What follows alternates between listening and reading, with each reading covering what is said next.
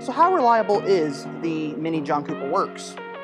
Well, today we have my Mini John Cooper Works. This is a 2022 Mini John Cooper Works, F56 obviously, and I've had this car now since February of 2022. And in that amount of time, I've put 52,000 miles on it. And you're not hearing incorrectly, 52,000 miles, and that includes driving for my work and driving with the Mini JCW team. This car has seen a lot of things and it's been everywhere. And I genuinely mean everywhere. I have driven this car everywhere. Reliability wise, how reliable is it? Well, providing you aren't driving through the southwest and hitting potholes on Interstate 40, very reliable in fact. Now, for those of you who know me, you know that I've replaced this wheel twice on my car as I've hit one pothole and it fell off the back of a golf cart at Circuit of the Americas.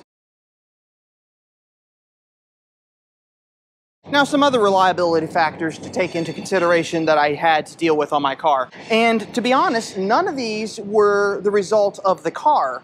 They were a result of my own stupidity. To start with, this strut bearing on this side failed. Now it failed because I didn't see a large piece of rubber pressed up between an expansion joint on a bridge and I hit it going 70 miles per hour. Bent the wheel, snapped the headlight leveler, and damaged the strut bearing. Now what's funny is I didn't even know that I had blown the strut bearing until I started hearing creaking noises coming from the side of the car. And the reason for that is they designed them so freaking well unlike the previous two generations, that when they fail, the suspension doesn't drop down. So I didn't know I had a strut bearing fail until I started hearing creaking noises at low speeds in parking lots from this side of the car. Come to find out, the bearing had failed. But it was also under 50,000 miles at the time, so warranty took care of it. So moving on from the strut bearing, what else has been done to the car maintenance-wise? Routine oil changes, and at 50,000 miles, I did have my spark plugs replaced. So there's that. And by the way, Miniac top tip here, if you want to get a little bit more performance out of your engine and use OEM parts, BMW i8 spark plugs fit in this car perfectly. And the reason for that is the BMW i8 uses a three-cylinder turbo motor that's used in the Minis. In fact, I would say that the Mini Countryman hybrid powertrain is really just the BMW i8 powertrain turned around and detuned. So, oil changes, spark plugs, strut bearing. And after my trip to Sonoma, I did have to replace the rear brake pads and rear discs. Now, the reason for that was the inboard rear pad on this wheel failed. Now, it failed halfway into our trip and it started making squealing noises. The car still stopped. It was just annoyingly loud and nails on a chalkboard, basically. So when I finally got the car home, I was able to get the pads off, get the rotors off, and replace them. Now, I could have reused them, but I obviously didn't want to because when I took this rotor off on the backside, it was completely scored up and ruined, so couldn't do that. You might be thinking to yourself, that can't be it. There has to be more. It's a BMW product. Everything has to be more. There's always more. Well, in the case of the Mini Cooper, there isn't. And in the case of this car, there hasn't been. It's been routine maintenance from day one, and I've had that experience with my last Mini it was all routine maintenance. Now my previous generation minis, obviously they're gonna have issues as they get older. I wanna say this train's derailing very slowly or something because it is making way too much noise. There I go losing my train of thought again. This is the worst possible place to do videos. Now, of course, over owning the car for that short amount of time, there have been things I've done to the car. I changed out the hood scoop, I changed my little grill trim rod here, and I added a little piece of uh, grill plastic because with my road trips, I was concerned about things going through and hitting the intercooler. But otherwise, wheels and suspension and tires aside, not much else is different.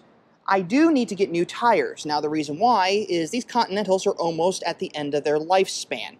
They are currently at 330 seconds of tread life left, and the reason for that is I drive a lot. Now you might be thinking, well, 52,000 miles, and they've only been on the car for a short period of time. Well, short being about 38 to 45,000 miles, so how can they possibly be worn out right now? Well, we also have to factor in the Dragon, so there you go. That being said, I am going to be buying new tires for the car, and I'm open to suggestions. I've been told to consider going slightly larger tire-wise. 215 45 18 was the suggestion, as was 225 40 18.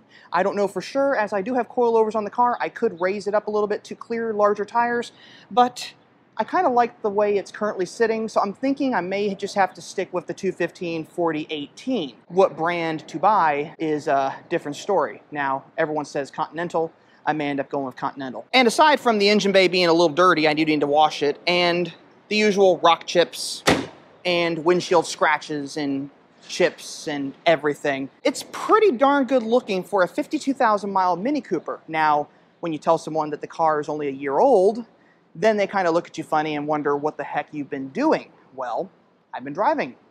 And that's the whole point of this car. It is meant to be driven. Minis are meant to be driven. They don't like being babied. They like being flogged around a twisty road or even around a racetrack, which is why I've been attending all these races. So, and the Dragon right there. So we got the Dragon added to this whole list of uh, tracks, and I have to add Road America next. I think I'm running out of room though. But otherwise, it's been a good car so far.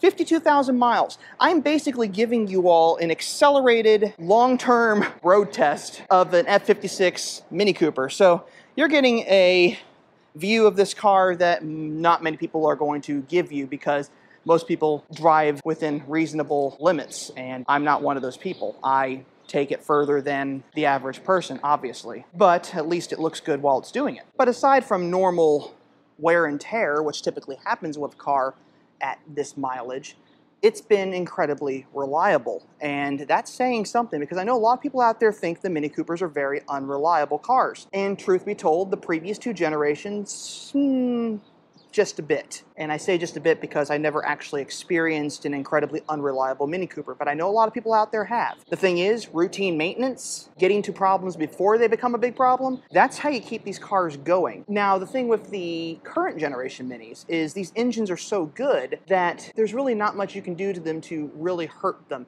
I've seen people hurt them, and I'm kind of trying to figure out how the heck did you manage to damage an engine in one of these cars? Because that's not an easy thing to do. In fact, it's so not easy that Mini is continuing to use these engines with the next generation cars. The fourth generation internal combustion hatchbacks are going to use these same engines. And I think even the new Countryman is going to use the same engines. They're that good that Mini is continuing to use them rather than designing new motors. And I think it's the adage that if it ain't broke, don't fix it. They are going to upgrade the tuning a little bit on them, improve horsepower, obviously, improve torque, obviously, and maybe a few little tweaks here and there. But overall, it's going to be the same engines that are currently in these cars. Now, you might argue then that why wouldn't Mini want to increase the horsepower on the vehicle? Well, in my opinion, 2,700 pound car with 228 horsepower and 236 torque is plenty. I don't think it needs to get any more powerful than it currently is. I think this JCW hatchback at this current horsepower is adequate. I don't think there's any changes that need to be done.